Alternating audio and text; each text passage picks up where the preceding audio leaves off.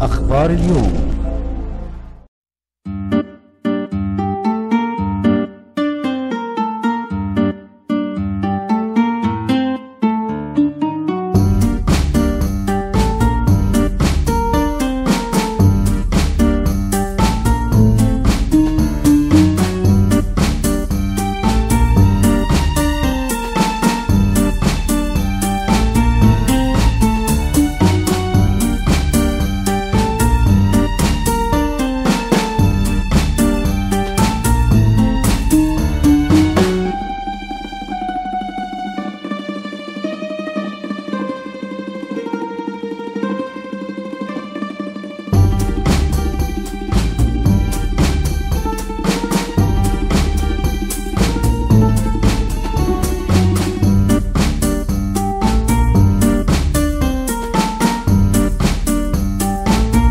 بيبقى فرصة جميلة الناس تعرف الزرع تعرف أنواعه إمكانياته زراعته واهتمامه بيه.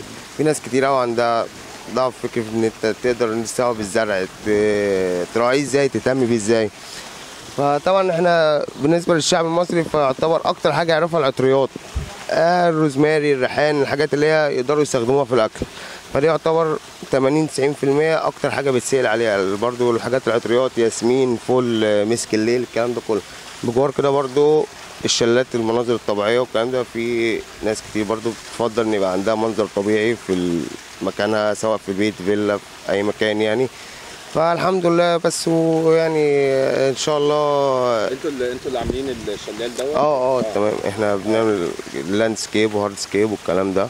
وإن شاء الله بس هو يعني فرصة جميلة والله إن الناس هنا برضو وبعدين ظروف البلد برضو إن إحنا كان في المعرض برضو قعد فترة هيتعمل ما يتعملش بس إحنا كنا لأ حابين نتعمل برضو استقرار وأمن والناس برضو لازم تعرف فيها سياح بتيجي هنا وفي ناس دبلوماسيين بيجوا.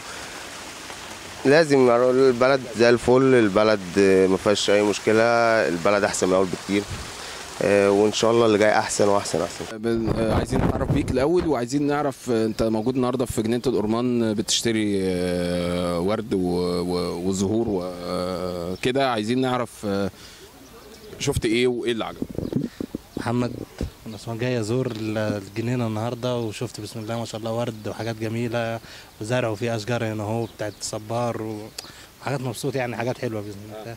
بس. آه، في في انواع معينة عجبتك ولا في ولا انت بشكل عام بتبص وتشوف؟ هو شكل عام وثانيا في حاجة عجبتني اسمها صبار لطيف. طيب كده هو حاجة حلوة جدا. دي اللي عجبتني في البتاع برضه. بس. آه، فكرة آه، وجود معرض للمشاتل والشركات اللي بت- بتعمل زهور آه، أو أو أو نباتات زينة. الفكرة دي شايفها عاملة إزاي؟ لا، فكرة جميلة جدا طالما الزرع و... وده يعني طبيعة بتاعت مصر هنا أهو بح- بصراحة حاجة جميلة جدا. بشكرك جدا بنقول لك كل سنة وأنت طيب بعد. طيب وأنت طيب.